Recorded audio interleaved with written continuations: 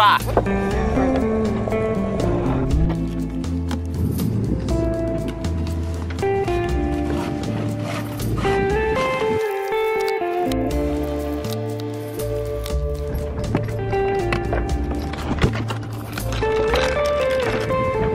The grease is a little thick. Why does Jetty want it? I don't know. I wonder if it's like Like-. I'll need that. Lard? Yeah, like lard grease. Hey, out of here.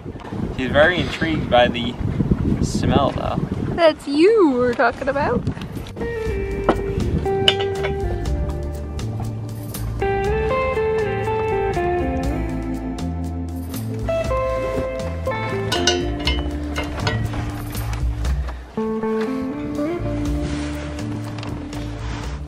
The reason we're getting a new anchor, this is our old anchor, as you guys have seen before, and she does pretty well in sand. But other than that, Like medium density sand. Soft sand, it drags, and dense, like compact sand won't set. It just, where any other anchor would set, that thing does not set. and we have heard nothing but great reviews about this Mantus anchor, so we're excited to see if all the reviews are true.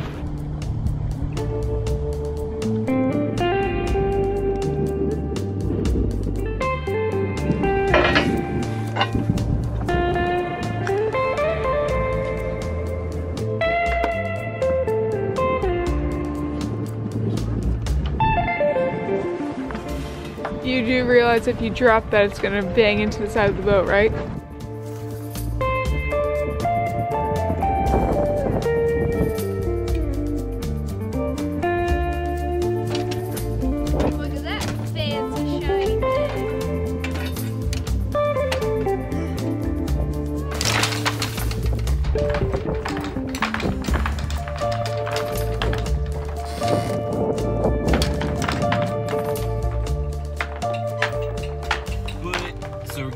Cruise south, and hopefully within the next week or two, it's, uh, it's the weather that's just holding us up a little bit. Just getting ready to go. Don't worry, I'm not driving. You guys all know we use our iPad for navigation. We've been using the same iPad for the past four years. This is its fourth year of life. Just so you know, it's an iPad Mini 2, right?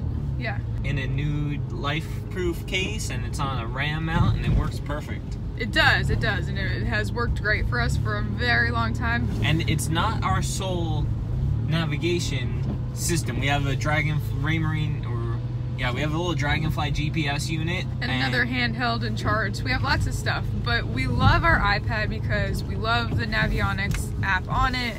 And it is also like our hotspot and it's our TV and it's had a very long four years of life. and But the other day it started, it stopped working for us. It still works, but it's the screen's like going dark and it's giving us these weird little lines. But like it's yeah, it still works most of the time. But it was just kind of it, it all of a sudden not working for part of the time. is a little bit scary, especially when it's our navigation. But like I said, we do have backups, but just so used to the iPad. We use it 99.9% of the time.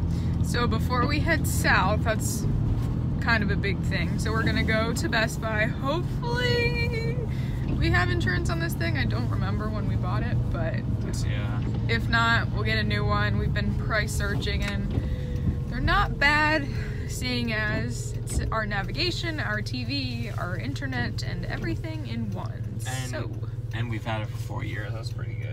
Yeah. Even four years, just for iPad alone, just like in normal everyday uses, I'd say it's decent, fair. Way longer than our phone survived for. In this world of planned obsolescence. So yeah, let's go to Best Buy.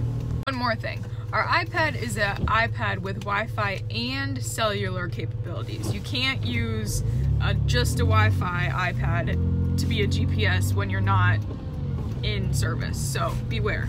Get one with cellular. I, I've made a couple movies about that, just kind of going over that. But yes, you can use your iPad for navigation, even when you don't have service, as long as your maps are downloaded before Yeah. before you leave your service, whether it's cellular or Wi-Fi. Make sure you have cellular or Wi-Fi make sure your maps are downloaded. Then you can turn on airplane mode and your GPS will still work to put your position on those maps. So that's how it works offshore for us. And it's cold.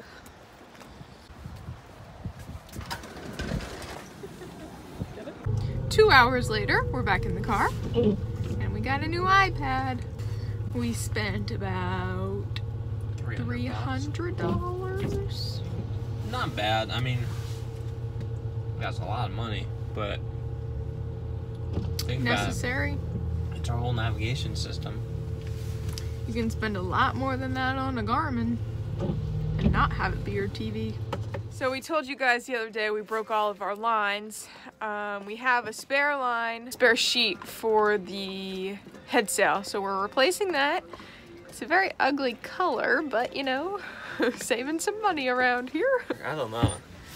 It's a double braid. It's I think it's it's probably polyester core with I don't know if the the cover looks like a like a natural line, like a cotton line or something. It's probably polyester, but Well, you guys will see if it breaks on our way down. I think it'll be fine for the way down. We'll just do this temporarily for the trip down, and then once we get down to Florida, save up a little money, we'll probably get some nicer lines. Like, yeah. Want to know what else I found?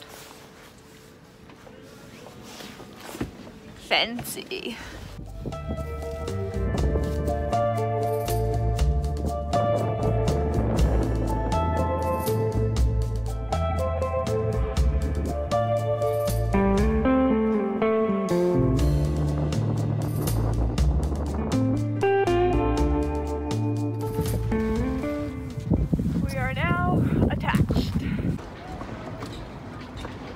We're just doing a bunch of boat work here. And we got a, a sailboat race right in our own backyard.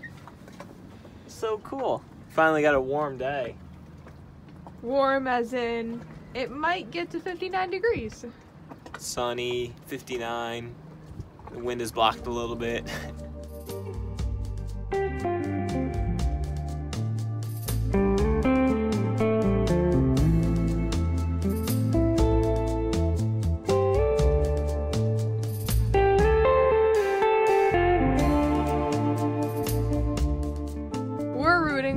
1477 because it's a dad and his little girl.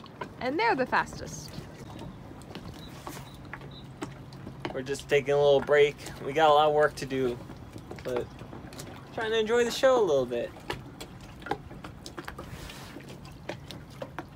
Marlon, how are you liking the show? I really like your fancy new collar that I got ya.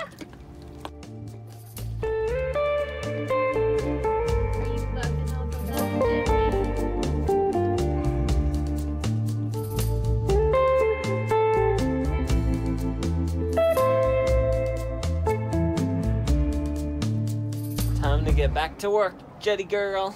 Back to work. Come on. Let's go. You wanna go to land? You wanna go to land? I don't know where you going. Lay on the other beanbag.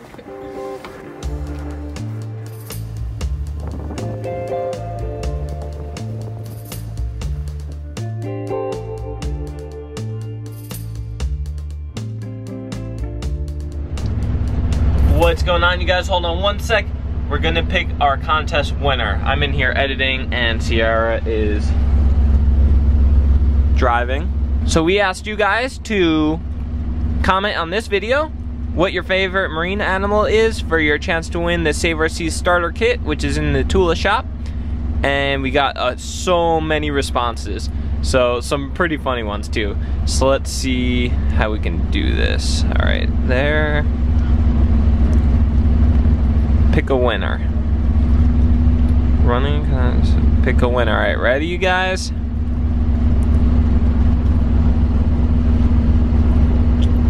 Jose Rodriguez. I love dolphins. We especially love when they surf the wake of our boat. Congratulations, Jose. I'm gonna try to get in touch with you here. I'll shoot you an email. We'll get you the Save Our Seas starter kit. Thank you guys so much for watching this video. From here on out, we're done with the boat work for now.